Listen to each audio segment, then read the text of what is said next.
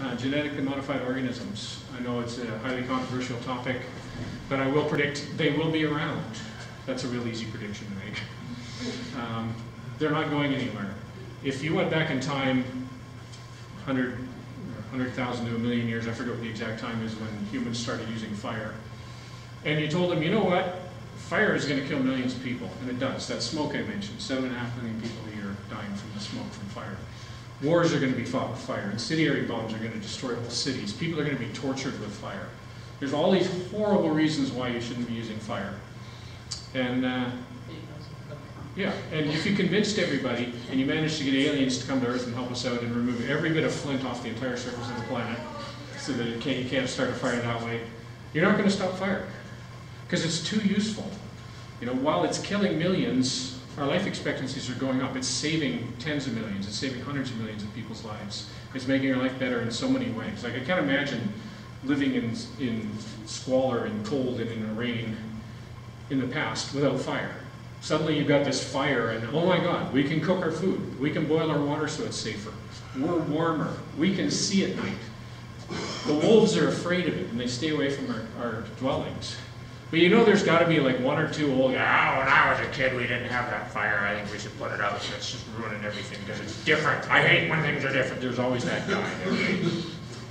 now we're running into the same thing with genetically modified organisms. There are people who are bringing up often legitimate concerns and often, I think, not well thought out concerns.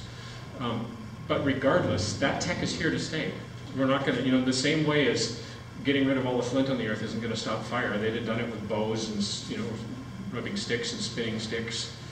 Um, it's going to happen, and I think it should happen well. And that means the arguments against genetically modified organisms shouldn't be the bad ones. And often the bad arguments are the ones that get the attention. The people screaming Frankenfood. That's not helping the argument any. Um, the people saying genetically modified organisms are never tested and that we shouldn't eat them. And that's nonsense. They're tested more than any other type of food. Um, so we, but there are the legitimate arguments, well, do we need to make that specific organism? Maybe we don't. Um, are we declining the number of varieties of seeds grown in a certain area from thousands to a few? And is there an impact of that? That's a good argument. And we should pay attention to the good arguments against genetic modified organisms because they're going to be here. And that means let's, let's argue well for them and argue well against the bad aspects of them. I think what will be fascinating in terms of genetic uh, modification is not just the food, but on the humans that are consuming the food. There's a lot of people hungry in the world today. There's people who would eat the crumbs out of my toaster, that's how hungry they are. And I've been hungry like three times in my life, and that, that was like a day hungry, not three weeks hungry, which some people are.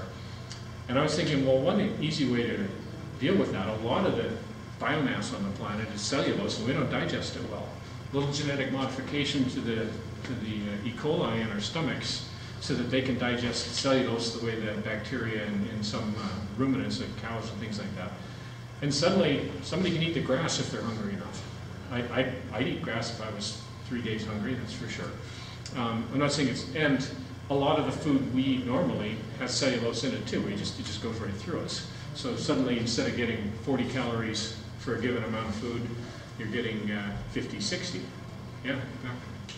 Yeah, did you talk about eating insects yet? No, that's a fair one, yeah. Because apparently we already can, apparently the, uh, the exoskeletons, we already do have the genes to digest The, those. the chitin, yeah.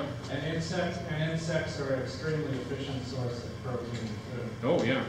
Quite, quite, quite high in protein. And the amount of vegetable protein it takes to make a pound of bug protein is less than for, for I think it's six, six to one for, uh, for beef and like four to one for beefalo hybrids. But for insects, I think it's way higher than that. I studied this recently, apparently, uh, three, apparently the ratio is one point five to one for crickets. So it's like fifty percent Yeah. feed, and then maybe three times as much water for crickets, whereas with cows, it's maybe ten times as much feed and a thousand times as much water. Yeah. So I think that is a good prediction for the future. People will eat bugs more in the future.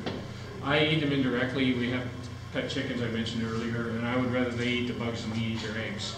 Um, that's how I do it. I don't. I, I would have to be pretty hungry before I ate bugs, but I, intellectually I have no objection. Somebody else wanted to have, a friend of mine ate, ate pizza with scorpions on it, and the heat kills the, the poison in it. And I looked at it and I went, I'm not eating that. But I wasn't, oh my God, I can't believe you ate that. I'm like, oh, I'm happy you enjoyed it, your pizza. I mean, it's Well, the thing is, the way people would usually eat bugs is to grind them into a powder, and then it's just a protein powder. Yeah.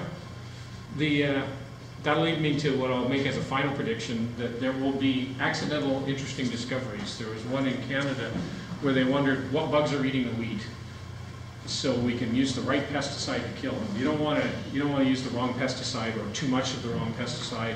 So what they said, we need to know what bugs are eating them. So the one guy came up with this thing you drag behind the tractor, which is a vacuum cleaner. And it vacuums the bugs off of the plants.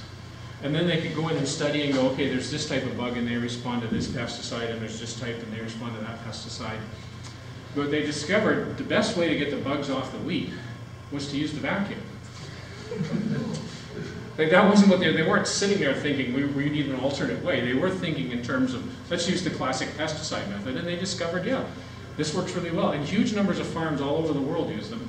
Lettuce farmers love them because there's no dirt and bugs in their lettuce, and they can sell them for a lot more. In addition to not needing the pesticides, so it was this this uh, amazing discovery. And then they found well, you've got this hopper full of dead bugs that are all chopped up. What do you do with that? Well, you feed it to your chickens or your cattle because it's 60% protein. So I'm hoping, I'm- and I will predict for my final one, there will be more of that type of thing. Thanks very much. everybody.